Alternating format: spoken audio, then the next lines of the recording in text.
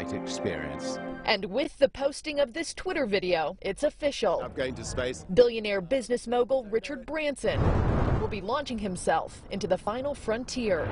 It'll be his maiden voyage aboard his Virgin Galactic rocket, which will blast off from New Mexico desert Sunday morning. I've always been a dreamer. My mum taught me to never give up and to reach for the stars.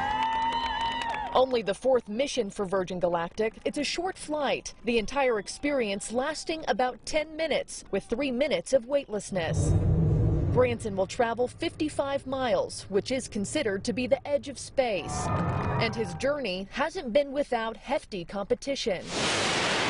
Changes your relationship with this planet, with humanity. It's one Earth. Amazon CEO and Blue Origin founder Jeff Bezos announcing his space launch for July 20th. Alongside him will be his firefighter brother Mark. I really want you to come with me. Would you? Are you serious? I am. I think it would be meaningful. Let's say, honey, that was the best thing that ever happened to me. I'm giving you a hug. and 82-year-old pilot Wally Funk, one of the Mercury 13 women who completed astronaut training in 1961 but never made it to space.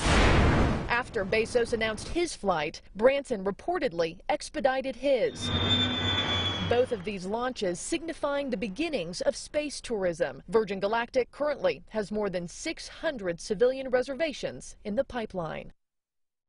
And the tickets are going for $250,000. Branson says when he lands, he plans to make another announcement that anyone who has ever wanted to be an astronaut will be able to. So we'll see what that means. Meanwhile, competitor SpaceX will be the first to take private paying customers to space. That should happen in September.